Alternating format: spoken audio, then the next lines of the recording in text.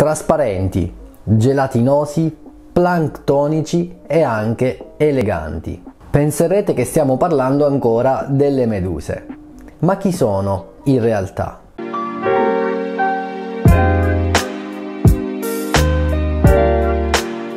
Ciao a tutti e benvenuti in questo nuovo video, io sono Massimiliano e voi siete su Bio Mare, la rubrica che parla di biologia marina a cura di Marcella all'interno del canale di Sub H2O.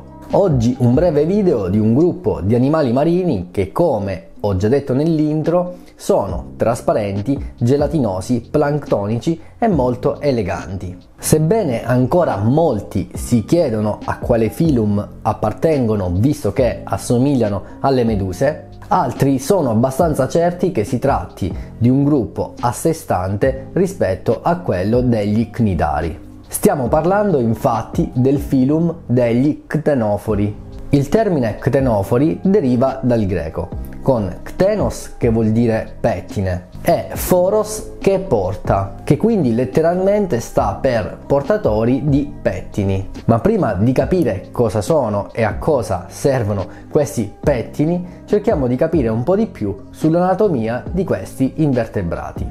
Anche loro, come avevamo visto negli cnidari, hanno il corpo costituito da tre strati. Abbiamo infatti quello esterno, cioè l'epiderma, poi quello intermedio, chiamato mesoglea, e quello più interno, chiamato gastroderma. Il corpo ha una forma più o meno sferica, un po' allungata, come fosse un ovale per intenderci. Alcuni presentano invece un corpo più appiattito, come ad esempio il cinto di Venere, il cui nome scientifico è Cestus veneris, gli ctenofori presentano 8 fila di cteni, cioè dei pettini che percorrono come delle bande il loro corpo e che sono composti da ciglia che si muovono in modo coordinato e permettono a questi esemplari di muoversi. Il che è veramente particolare poiché eh, solitamente gli organismi che utilizzano delle ciglia per muoversi sono generalmente molto più piccoli degli ctenofori. Il movimento di queste file di ciglia è regolato da un organo chiamato statolite, posto nella parte ab-orale del corpo dell'animale. Si comporta come una sorta di cervelletto,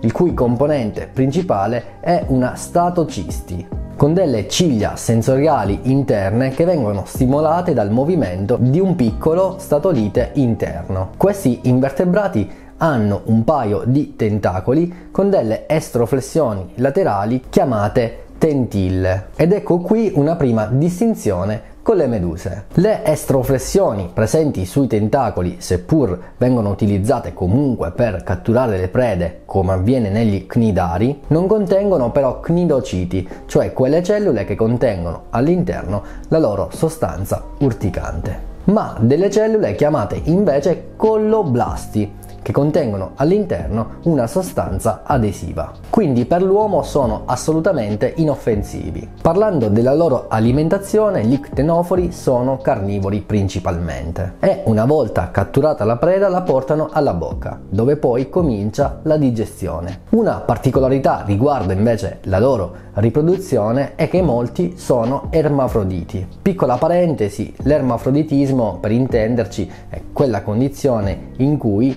degli individui di determinate specie possono all'occorrenza produrre gameti sia maschili che femminili, dove per gameti si intende per gli individui maschi gli spermatozoi e per gli individui femmine le cellule uovo. Quindi per riprodursi non è necessario che ci siano degli individui di sesso maschile e di sesso femminile. Negli ctenofori quindi uno stesso individuo libera nell'acqua sia i gameti maschili che quelli femminili e così avviene la fecondazione. Successivamente si forma una larva chiamata cidipide, da cui poi si sviluppa l'adulto. Nel Mediterraneo purtroppo, e poi vi spiegheremo il perché, è diffusa la specie Mnemiopsis lady, che ha questo aspetto. Beh, però adesso se vi capita di incontrarla durante le vostre immersioni o anche semplicemente quando fate snorkeling, sapete che non è una medusa e lo capirete osservandola bene e notando quelle file di pettini che percorrono il suo corpo e che spesso muovendosi appaiono iridescenti. C'è da precisare però che, e questo è riferito al purtroppo